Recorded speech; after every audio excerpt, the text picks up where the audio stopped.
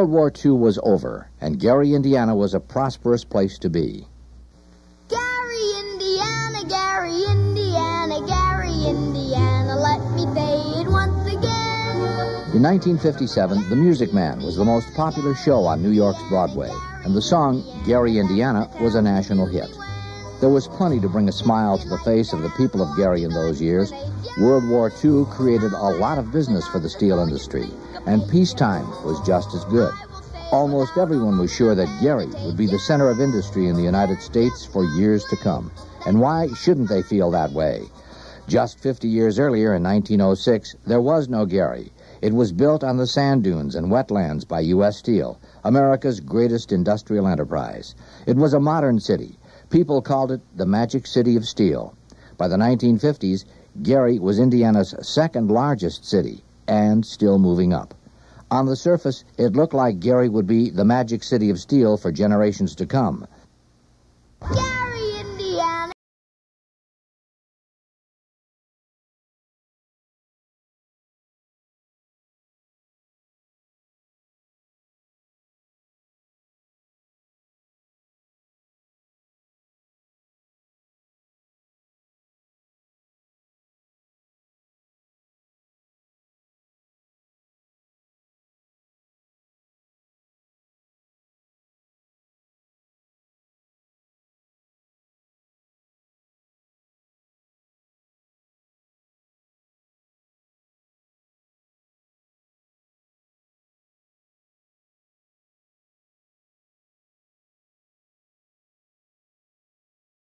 boxing ring, Gary was in the national spotlight in the years after the war. The city had reason to be proud. One reason was Tony Zale. Just before the war, this native of Gary's Central District won boxing's middleweight crown. The war put an end to the title fights, but in 1946, Zale defended his title against Rocky Graziano. It was a fight that some rank as one of the best of all time. I knocked him down the first round, he knocked me down the second round third, fourth, fifth rounds, so I poured on me hot and heavy. I hit him with the left side, left side, you know, and I kept coming on after him. Fifth round, he kind of stopped as though when the was coming guy up, I can't knock him down anymore. Well, I knocked him on the sixth round that night. Zale won and came back to Gary a hero.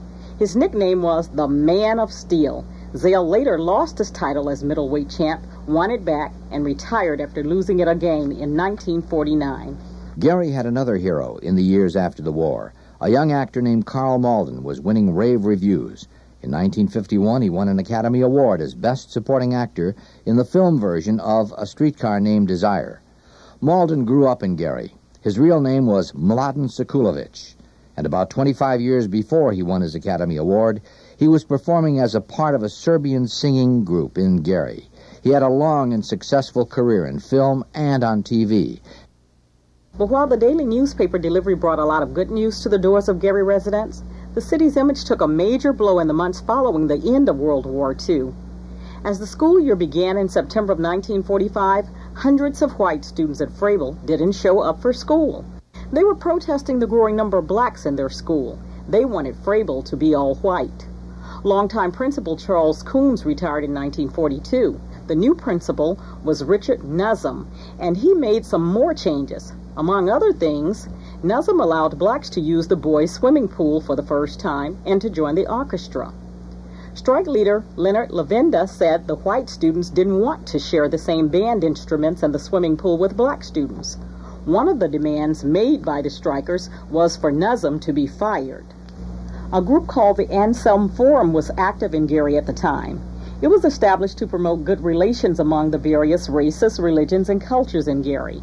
To try to put an end to the strike, they contacted a man idolized by teenagers of the time and asked him to come to Gary. In 1945, Frank Sinatra was the idol of many American teens. At the time, he was also interested in using his popularity to deliver a message to his young fans. So, Sinatra accepted the invitation to come to Gary. He canceled a $10,000 engagement and came for free. Schools were shut down the day Sinatra arrived, so students could attend the show at Memorial Auditorium. Nearly 6,000 showed up. The Gary Post Tribune said many of them were young women who screamed at the sight of the star. One high school girl is watching Frankie through a pair of binoculars. As he passes her by, he smiles. Now she starts to swoon, but the crowd's so dense there's no room for her to hit the floor. The house I live in. I, sh- I shall never forget the song that he sang, The House I Live In, was um, the refrain and the common denominator that, that, that he used. That was very bold, very, very bold uh, act or position to take in 1945. All races and religions. Sinatra sang and delivered a sermon. The eyes of the nation are watching Gary, Sinatra told the crowd. You have got to go back to school if you don't want to be ashamed of yourselves as a student body. I'm sure you don't want to be ashamed of being an American. Let's do things the American way. The reviews were mixed. The students liked his singing, many didn't care for his preaching. It was nice, but I don't think it accomplished anything. He said too much about Americanism and not enough about the racial problem in Gary. His singing sent me, but the rest of the program was dull. Sinatra's appearance did not end the strike, but it did draw national attention to Gary. Just two years earlier, Gary received positive national publicity when Life magazine ran a cover story on women working in the mills during the war. Now the nation's leading magazine was back. Gary was pictured as a racially divided city. The National Urban League, an organization promoting equality for blacks, came into the picture at this time. They sent a man from St. Louis to start a chapter in Gary. His name was Joseph Chapman. Chapman's first goal was to get the white students and black students together and to talk over their differences. When they emerged from the meeting, they had a solution. And their feeling was this that we should not be the only school, Froebel, that has black and white students. Black and white students ought to be found in all the high schools in the areas where blacks and whites might happen to live together. The students said they would not strike again and urged the school board to issue a policy of citywide school integration. The strike forced the school board to act. By the start of the 1947 school year, the 41 year policy of segregation was over in the Gary schools. A group of young men from the city's immigrant community was working its way into a position of leadership in the years after the war. The group was headed by George Chacharis, who came to Gary from his native Greece as a 10 year old. The young Chacharis loved sports and loved people. At the age of 24, he organized a social and athletic club in Gary Central District. It was called Club SAR, using the first letters from the words social, athletic, and recreational. Drawing from all ethnic groups in the Central District, Club SAR put together a basketball team that was nationally competitive. One of the stars was an athletic young man named Peter Mandich. But these were the Depression years, and Club SAR also became active by delivering food to the needy ethnic families of the Central District. From these roots in the immigrant community, Club SAR became politically active just before and during the war. But it was after the war that its political power blossomed.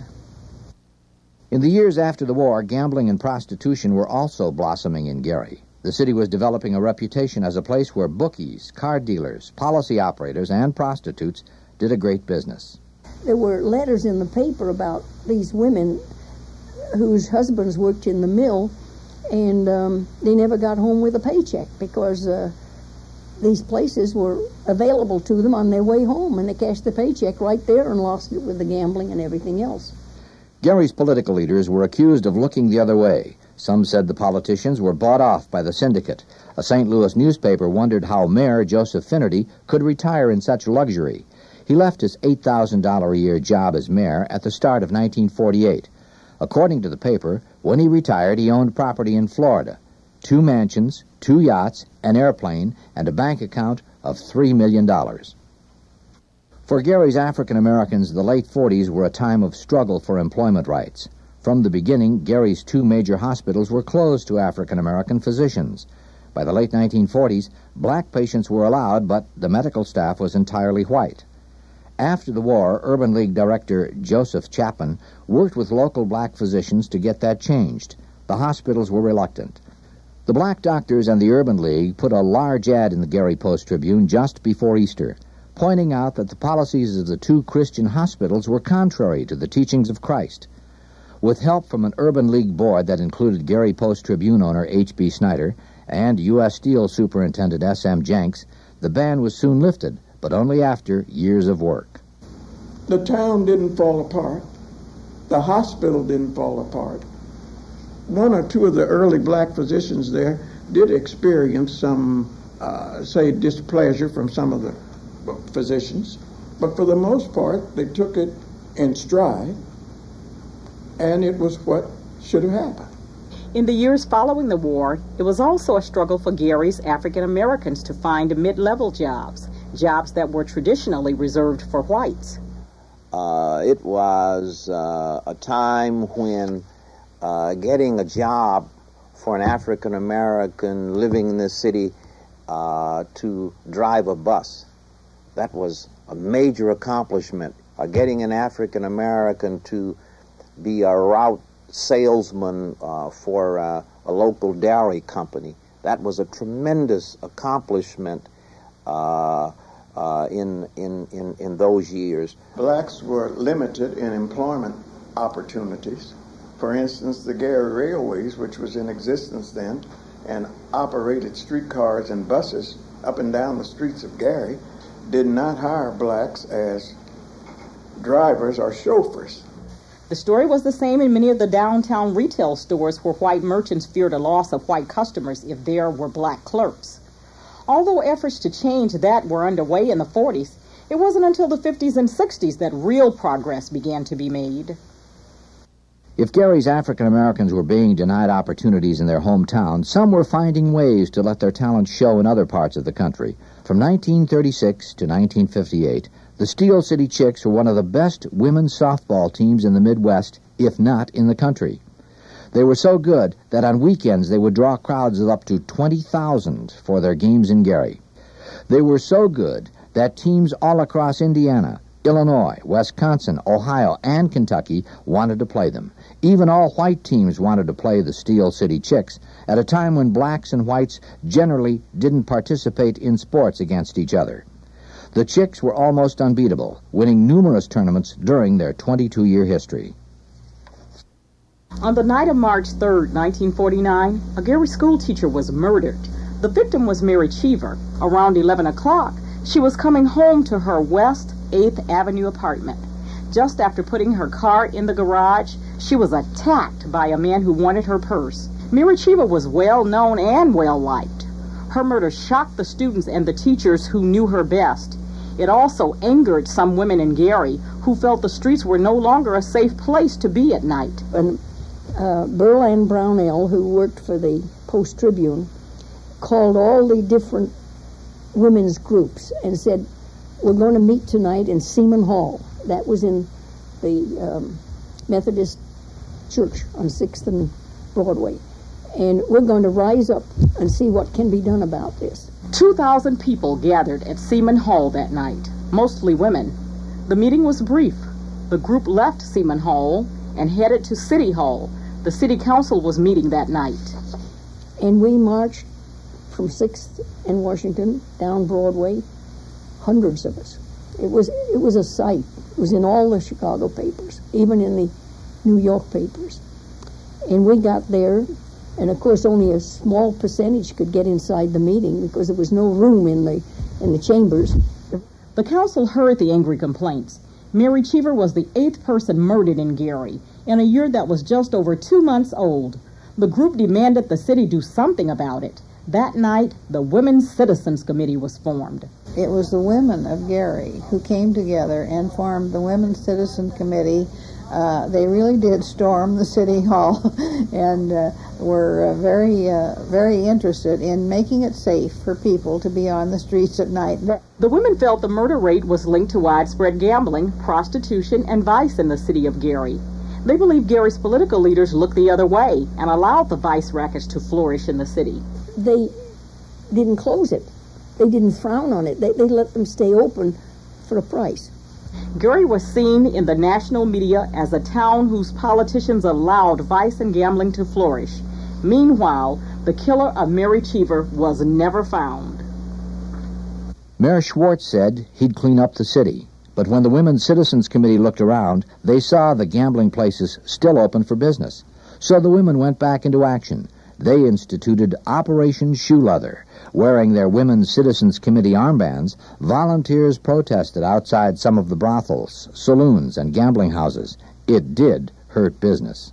These businessmen would drive up with their big cars and they'd start to get out and then they'd see these women and some of them they knew who they were and boy they were in the cars and gone before you knew it The women's group also won the support of many men. They formed a new group called the Gary Crime Commission. we did some interesting things there was a prosecutor that they knew was on the take and letting people go if they just pay him and so um, some of these men uh, at the risk of life and limb i guess they got a, across the, the roofs of the buildings there on broadway between fifth and sixth and they, they put a, a microphone or whatever you call it uh, uh, in, in the that office of that man.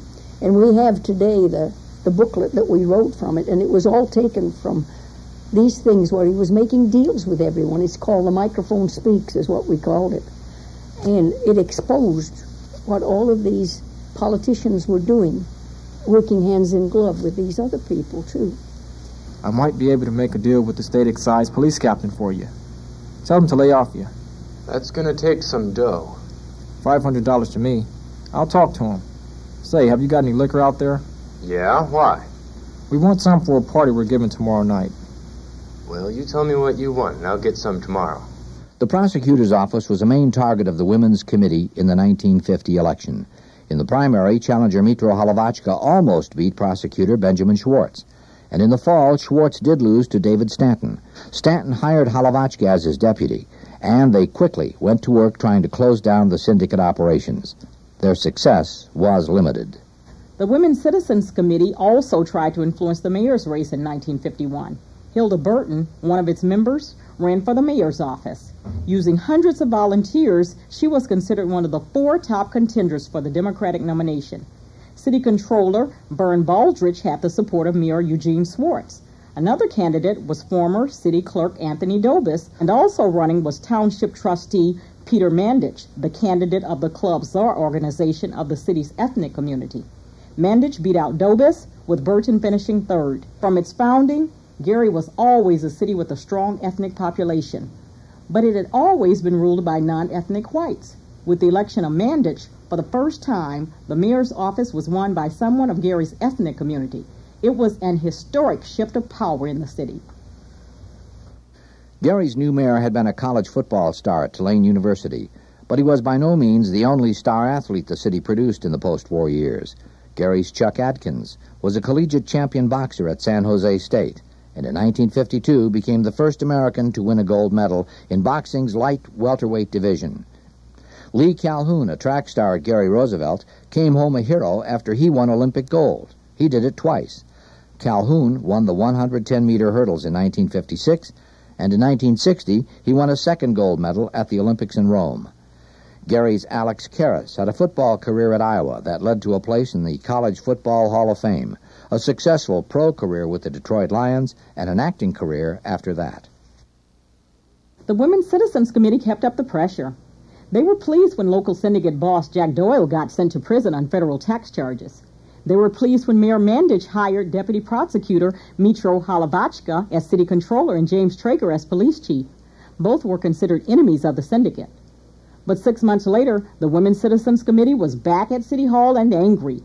Holovachka took over as acting mayor when Mandich went on a trip to Florida and he fired Traeger. Holovachka said Traeger's police department was harassing immigrants by breaking up nickel and dime card games. The women's group called Holovachka a traitor to good government. But by the end of the year, Holovachka had moved up to a new job. He ran for prosecutor and beat out former boss Republican David Stanton. Mandich had to appoint a new city controller. He chose George Chacharis, the founder of Club SAR. This is the year of 1956, a year of jubilee throughout the Calumet area, for this is the golden anniversary of the founding of the magic city of steel, Gary, Indiana. 1956 was a year to celebrate in Gary. The city was 50 years old. Many of the men in the city, including members of the city council, wore mustaches that year. It was one way to honor the old pioneers who settled the town. They also had a parade that summer. Hometown hero Tom Harmon was the Grand Marshal, and he had the honor of crowning the Golden Jubilee Queen. It was also a time to celebrate because the future looked bright for Gary. But the story of Gary is still unfinished. The 50 years which have gone by may form only the preface to the story which will unfold itself in the next 50 years. Gary's epic rise from the obscurity of nothingness to the estate of Indiana's second largest city has captured the world's imagination. Citizens were proud of Gary's growth from zero to 160,000 people in just 50 years. As one Chamber of Commerce official said, many expected an even larger city in the years ahead.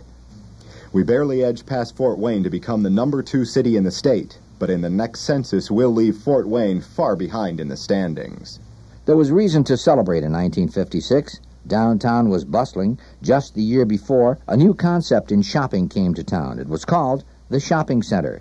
And even though the village shopping center opened to enthusiastic crowds, downtown was still the center of activity. But for those paying close attention, there were plenty of problems facing Gary not far beneath the surface. The problems included pollution, race, political corruption, and labor problems, not to mention a rapidly changing world. For years, the beach at Marquette Park was for whites only. There was no law keeping blacks out, but it was clear they weren't welcome. An attempt was made to integrate in 1949.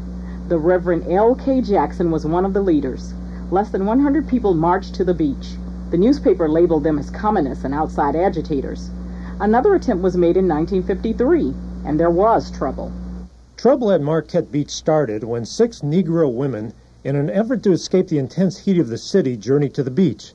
They were attacked by a mob of white teenagers in the presence of three police officers who refused to make any arrest. One woman was slapped, five others were cursed and insulted. The latest incident was last Sunday when three persons were struck with a bottle. The police chief, John Foley, again blamed the unrest on professional left wingers, but the local Urban League chapter, led by Clifford Minton, continued to push for integration of Marquette Park. In 1954, the City Council publicly gave its support to integration, but there were still racial incidents at the beach into the 1960s. There were also charges of political corruption throughout the 1950s. Metro Holovachka was in the center of the controversy. A U.S. Senate Rackets Committee was investigating charges that the Lake County prosecutor was allowing a multi-million dollar slot machine operation to thrive in northwest Indiana. The accusations against Holovachka were aggressively pursued by a young attorney named Robert Kennedy, brother to Massachusetts Senator John Kennedy. Gary was also developing a bad reputation for pollution problems by the late 1950s. Before the steel mill came, the Sabinsky family lived on Miller Beach. They were fishermen. As the area grew, tree stumps, debris, and other waste began clogging their fishing nets. August Sabinsky lived along the lakefront until his death in the early 60s. Before he died, he said fishermen like him were relics of the past. He said the lake has swallowed too much pollution and grime from the local factories. The fish were here in abundance, but they have left Lake Michigan for cleaner waters. Fish are gone, the gulls are gone, everything's gone. The nuts have ruined everything. The labor unions were also calling the steel industry names in the 1950s. They went on strike in 1952. That strike lasted 55 days. It might have lasted longer, but President Truman stepped in and forced a settlement. Workers received a pay hike, and the steel industry was permitted to raise prices. Another strike in 1956 led to long lines as workers applied for public assistance. Once the strike ended, wages went up another 45 cents an hour. But the longest strike took place when that contract expired. In 1959, workers voted to strike. They were off the job for 116 days. For some, it was rough. For many merchants in Gary, it was also very rough. It was another reminder that Gary was basically a one industry town. I uh, never lost uh, my payments on my house, and uh, I borrowed money from the credit union to get through the strike, and my family was well fed and had no problems. And even after I went back, I still owed no bills like a lot of people had to. President Eisenhower, who campaigned in Gary in 1952, called the strike to an end. He ordered the workers back on the job without a contract. Workers lined up at the pay window, happy to be finally getting a paycheck. Over the years, the frequent battles between labor and management helped to change the nature of the steel worker's job.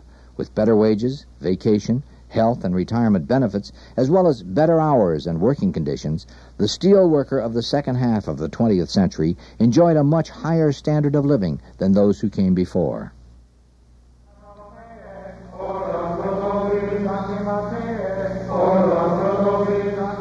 In 1957, the Catholic Church created a diocese of Gary and to name the bishop to serve as the leader of the area's 40,000 Catholic families.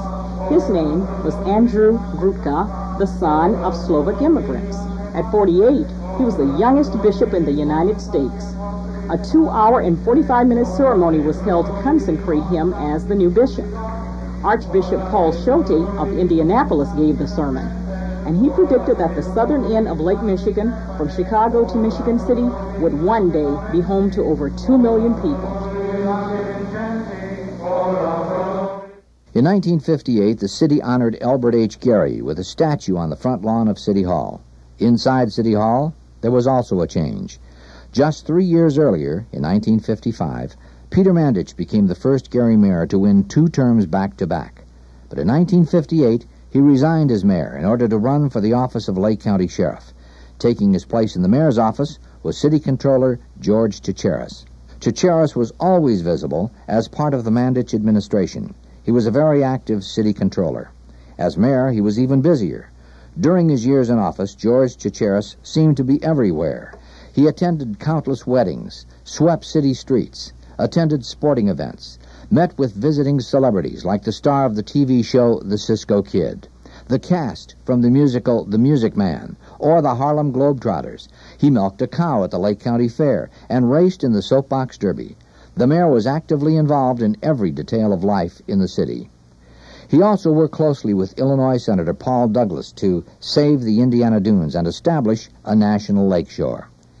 In 1959, Chacharis ran for a full four-year term as mayor. He won by a huge majority, the largest victory in Gary's history. Up to that time, Chacharis was indeed popular.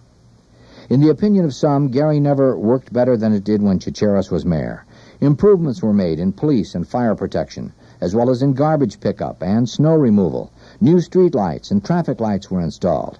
And if anyone had a problem, they could call the mayor at home to ask for his help. He was always available. G. Gordon Liddy became famous in the 1970s for his role in the Watergate break-in that led to the resignation of President Nixon. But from 1958 to 1960, he was an FBI agent stationed in Gary.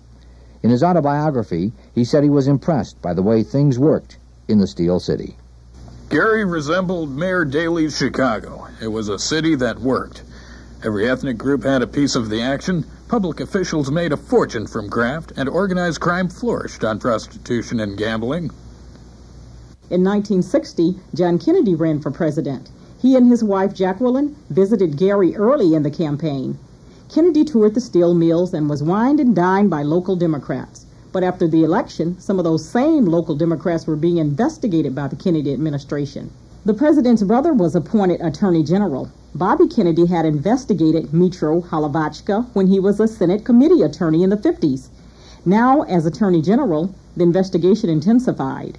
In 1961, the former Lake County prosecutor was indicted on tax evasion charges. The government claimed Holovachka accepted graft payments. He was found guilty and sentenced to prison. Holovachka never admitted to any wrongdoing, claiming he was victimized by Bobby Kennedy.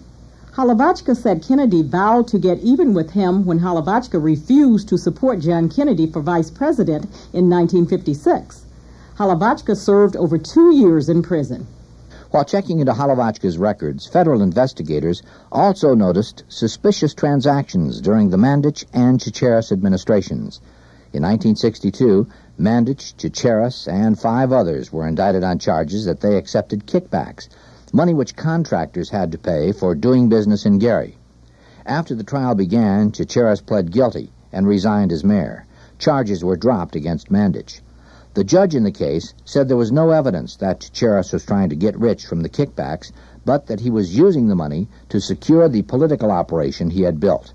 Chacharis spent nearly two years in prison. Just days before Chacharis was charged, a birthday party was held in his honor.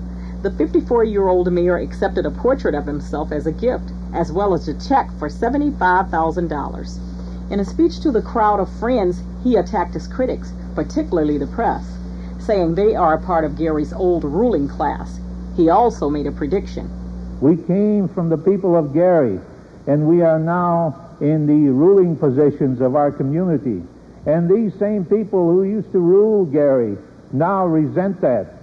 The same group that could not stand the sight of a Negro outside of serving as a bootblack or as a domestic servant in their house. This same group will see the day when we are going to have Negro public officials in Gary, let alone hunkies like us.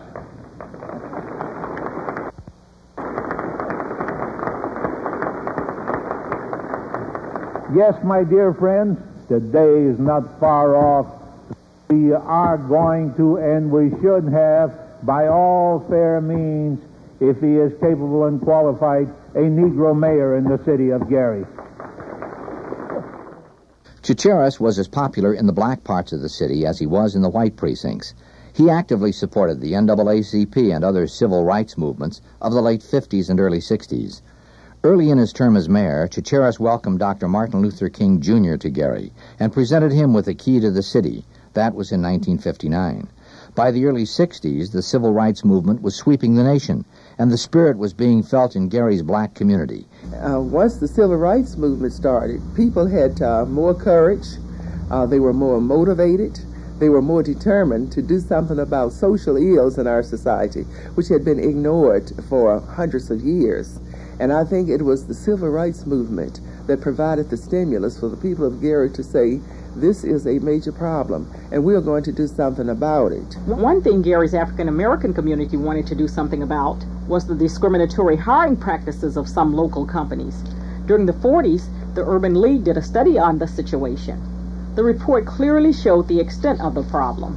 The basic problems confronting the Negro population of Gary are due primarily to its lack of employment opportunities. Prior to World War II, efforts by Negroes to secure opportunities in the chemistry division of one of the steel mills were flatly denied.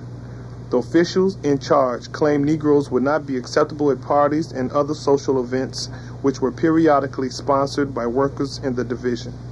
One retail executive, when queried on the use of Negro sales girls, said, I'm sure it can't be done without disrupting business.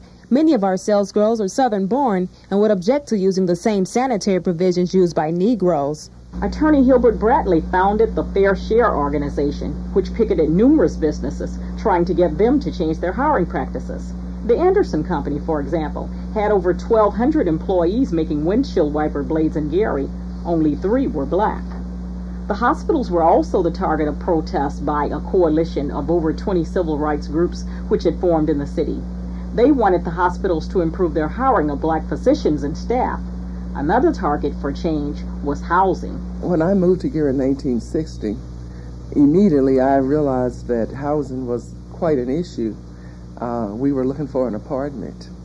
And of course, we were new in the area and we did not know about uh, the racism that existed and the housing pattern. Like many African American newcomers to Gary, Katie Hall and her family quickly found out that there were sections of town where blacks did not live and only one section where they were welcomed. And if you were an African American, you had to rent something in Midtown. And we did not know that. We were looking at apartments on Fifth Avenue, 11th Avenue, Westbrook Apartments, Glen Park, the Miller area, the West Side. And we were not aware of the fact that in Gary, blacks were confined to what was called Midtown. In 1960, the census reports say there were over 33,000 people living south of the Little Calumet River in the section known as Glen Park. Only three of them were black. There were 5,000 people living in Miller on the city's far northeast corner. Only six were black. But in Midtown, there were over 64,000 African Americans crowded into a seven square mile section of town. Seven square miles in a city that was about 70 square miles in size. But that's where 93% of Gary's blacks lived. And in Midtown, uh, there was such a shortage of decent housing until blacks had to live in basements and attics. And in some homes, we found three and four families living in just one house, just one single family home. But that many families had to live there because they had no place else to go. They could not uh, be allowed to, they, they, were not allowed to rent anything uh, outside of the Midtown area. In the early 1960s, Gary's African Americans began a fight for open housing, the right to live in any section of town. Just days after Dr. Martin Luther King Jr. led over 200,000 marchers on a march for civil rights in the nation's capital, eight to 9,000 marched on Gary City Hall.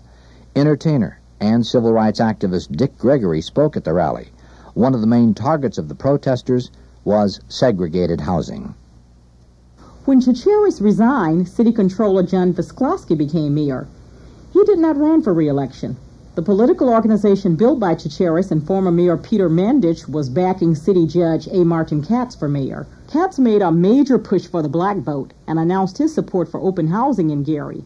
He ran no better than third in the white precincts, but won a huge victory in the black precincts. Katz won the election by 3,000 votes over reform candidate Emory Conrady.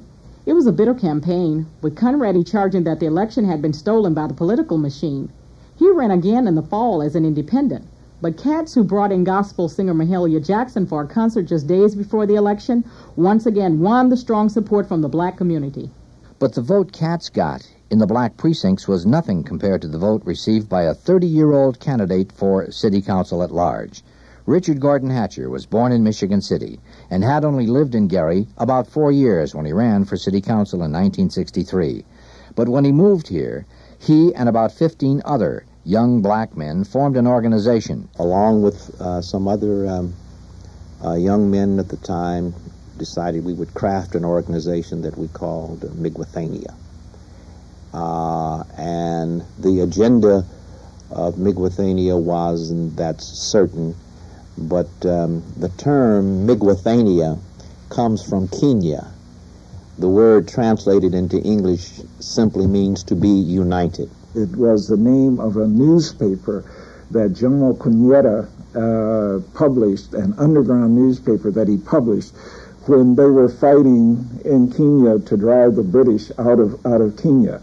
And so we decided that was a good name for our organization because at that time, first of all, Gary was rigidly segregated in terms of housing. And we thought that um, there was a potential for making our presence felt in Gary in a manner that was different than had been the case with all previous involvements of the African American community. Our sort of long term goal was to get involved in the political scene because it was very clear that it was politics in Gary that decided almost everything. Uh, there was no decision almost that could be made that wasn't a political decision.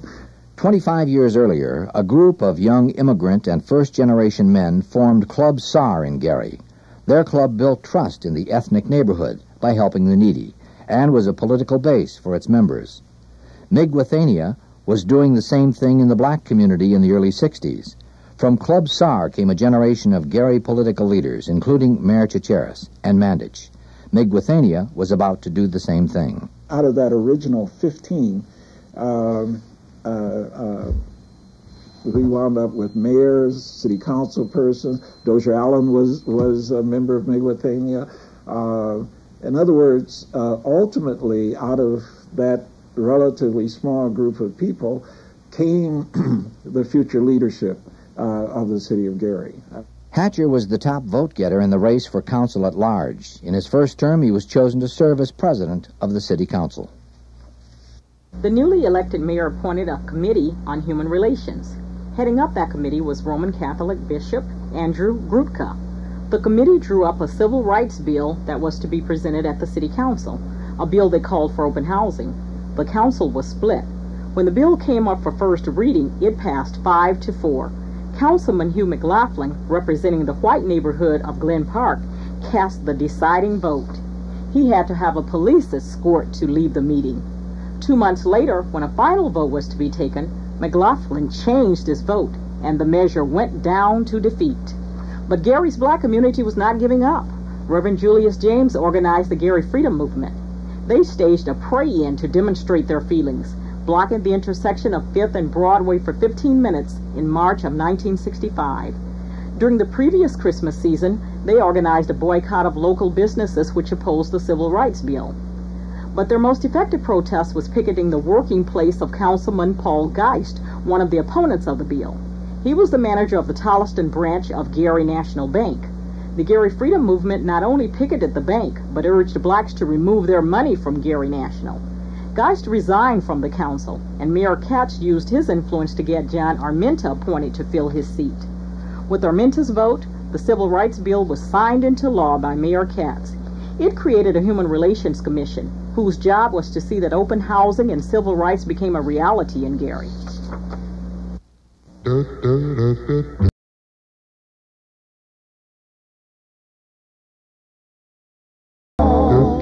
In the 50s, the music of a group of Gary Roosevelt graduates was a national hit. Good Night, Well It's Time to Go, was recorded by the Spaniels. It was written by band member James Pookie Hudson. Hudson, the one wearing glasses, was a product of Gary's Delaney Housing Project. He says the group got started by singing on city street corners. Good night, sweetheart. Well, it's time to go. But in the early 50s, they were discovered by a Gary disc jockey. Her name was Vivian Carter. Her Living with Vivian show, in which she called herself the hostess who loves you the mostest, was broadcast nationwide. It was one of America's top shows featuring black music in the early 50s. When the Spaniels came along, Carter, her husband, and her brother started their own record label. The name of the record company was Vee-Jay Records. It was one of the most successful black-owned music labels in the nation, a top competitor of another growing black label, Motown.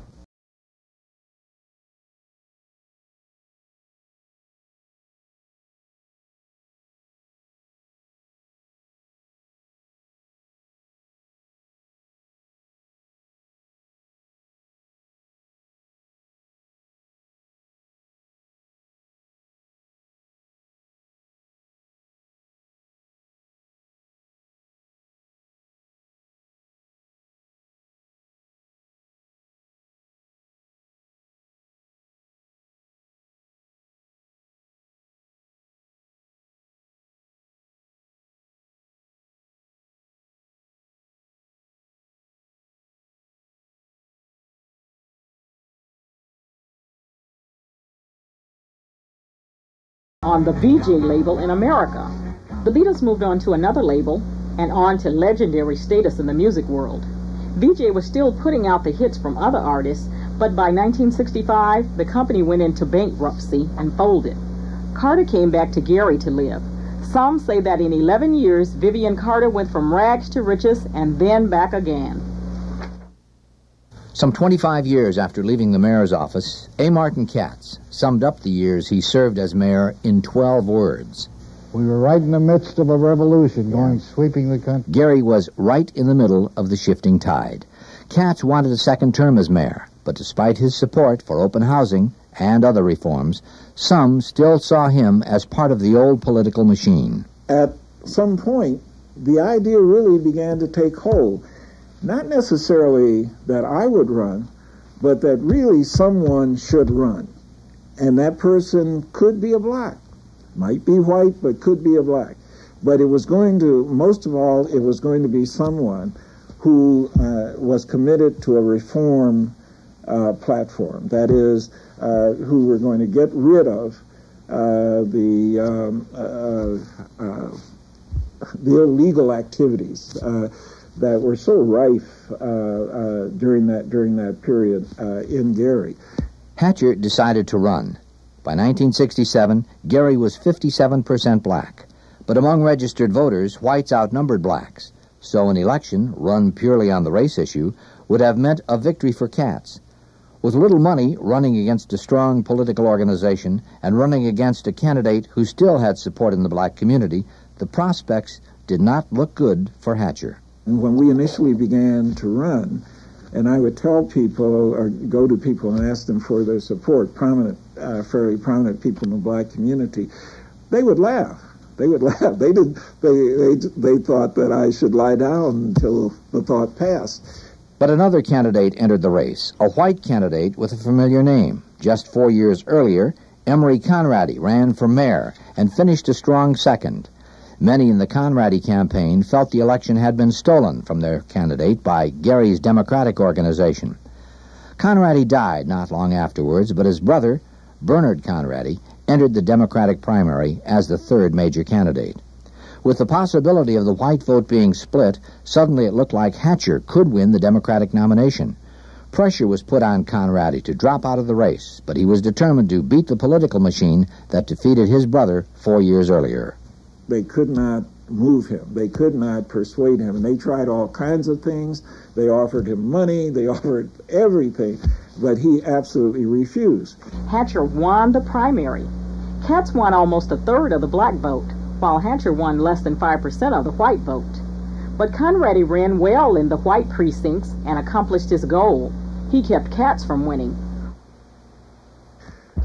The history of Gary at that point, as with the history of Lake County, was that if you could win the Democratic primary, you could basically go home and go to sleep. The Republican nominee was not an experienced politician.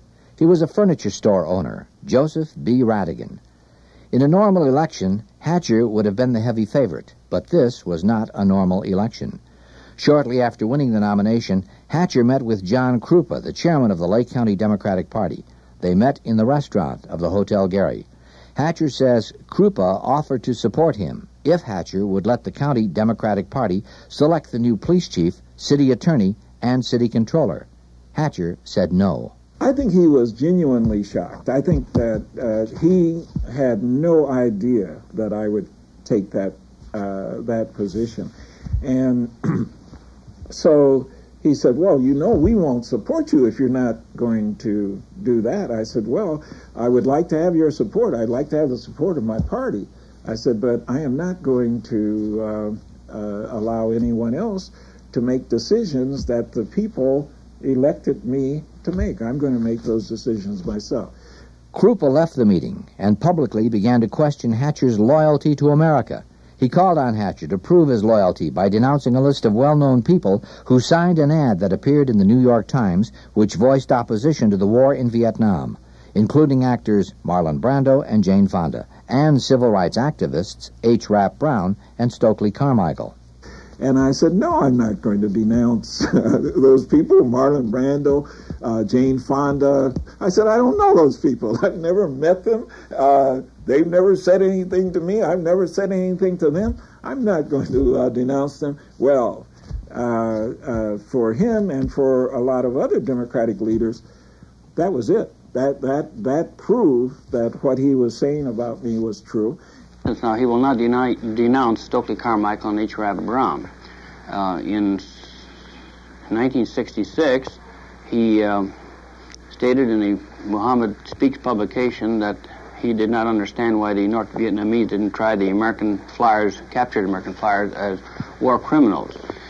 In addition to that, uh, he has surrounded himself with an element uh, in Gary and around the Chicago area who are always involved when there's something uh, anti-American or pro-communist, and it just seems this element's always there. And then Dick Hatcher is a fellow traveler. Amid predictions of violence and vote fraud, Gary, Indiana will elect a new mayor Tuesday. The contest matches Negro attorney Richard Hatcher and Joseph Radigan, white furniture store owner. Though neither candidate has deliberately made it that way, race is the overriding issue. The election was drawing national attention. Both Gary and Cleveland, Ohio were on the verge of electing black mayors. Never before in American history had a major city been led by an African American.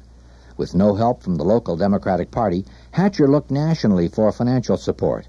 He ran an ad in the New York Times and other major papers asking for help. Hatcher was invited to New York to appear on television. Senator Robert Kennedy also contacted him and threw a fundraising party for him in New York City. Although the local Democratic Party offered no help, other prominent national Democrats came to Hatcher's aid, including Vice President Hubert Humphrey. Locally, Indiana Senator Birch Bayh, Congressman Ray Madden, and Mayor A. Martin Katz, all Democrats, endorsed Hatcher. But the local party, led by Krupa, was increasingly active on Radigan's behalf. Maybe the biggest help Hatcher received in the final days of the campaign came not from financial contributors, but from a white Polish American precinct committee woman who lived in Glen Park. Just days before the election, Marian Tokarski said Krupa and the Democrat precinct organization were planning to steal the election. Each one of us kind of were told that they were cheating out in the Midtown and that we would have to cheat to beat them, which that kind of justified, uh, maybe in a way, what I was doing. Why did you want to beat Hatcher? Because um, we were kind of buffaloed into believing that he was associated or a member of the Communist Party. You don't believe that now? No, no, I don't believe it now. And it turned out that the thing that had caused her to decide to tell someone, she had gone to uh, uh, church, uh, and and she said when the priest, you know, was delivering his sermon, it was like he was she was the only person in the church because what he was saying, you know, he knew nothing about any of this, but it was just hitting her, and uh, that's what caused her to feel that she had to tell someone uh, what was going on. Besides being county Democratic chairman, Krupa also controlled voter registration in Lake County. Tokarski alleged that over a thousand names were on the voter registration list, names of people who did not exist, but who would still be voting on election day. Based on Tokarski's allegations, Hatcher went to federal court. The night before the election, the court ordered Krupa to remove those names from the list. The court also ordered him to add the names of 5,000 black residents who the county election board had said were not eligible to vote. And so, with National Guardsmen in the background, Gary prepares to go to the polls. Perhaps the big issue is not whether a Negro can be elected mayor of a major American city, but whether a major American city can conduct an election honestly and without fear of violence. John Hogan, WGN News, reporting. Governor Roger Branigin ordered the National Guard to be on alert. For the second time in Gary's history, the first time in 1909, voters went to the polls with troops ready to move in if violence erupted. It never did. The election went off peacefully, and when the votes were counted, Hatcher won by less than 2,000 votes. You couldn't drive down Broadway because people, the street was just jammed, and people were dancing, uh, dancing in the street. They were so happy, uh, and uh, it was it was an amazing feeling uh, that I had. Hatcher's victory was hailed by national Democratic leaders. Some said his election symbolized a new era in America and said it gave new hope to African Americans nationwide. It uh, pointed out men and women are selected on the basis of what they stand for and their principles and not on the basis of religion or of nationalistic origin or color. I think it's a great thing for America and a great thing for our communities. Do you think there might ever be a uh, Negro mayor of Chicago in the future? Well, the answer to that is, is if he's a competent uh, man or a competent woman, the people will select him or her on the basis of their competency. It was a great evening. We were very pleased, and uh, we realized that the American dream was within reach of all of us. And uh, as we celebrated, uh, we gave thanks. Uh, our hearts were glad and it renewed our hope in America. Uh, we knew then that the dream could be realized by all of us. Inauguration Day, 1968. The city of Gary was swearing in a new mayor, the first African American mayor in the city's history. For some, it was a moment of hope. But the bitterness of the election would not quickly go away, as Mayor Hatcher discovered on his first day of work. We could not get into the mayor's office the uh, uh, the doors were locked, and no one had any keys. Uh, the my predecessor and his uh, staff had taken all the keys with them, and so we literally were locked out of the uh, of the mayor's office and had to uh, summons a a keymaker, a locksmith, who came and changed the locks. Once inside the office, the new mayor faced other problems, which were not as easy to solve. Nationally, Gary's image was hurting. For two decades, people read and heard stories about vice, political corruption, and racial problems in Gary. But an even bigger problem was facing the new mayor. The world was changing in the late 60s, and this one industry town wasn't ready for what was about to happen. Like other major industrial cities in the Midwest, Gary's economy would suffer a major jolt in the years ahead. Like other cities, it would experience an increase in crime and a massive loss of people to the suburbs, and like other cities, problems of pollution, urban decay, poverty, and declining tax revenues would have a major impact. And then there's the problem of race. Generally, the people of Gary were still looking ahead with optimism as 1968 began. To some, it was still the magic city of steel, but the years ahead would produce times that made it tough for even the most cheerful person to smile.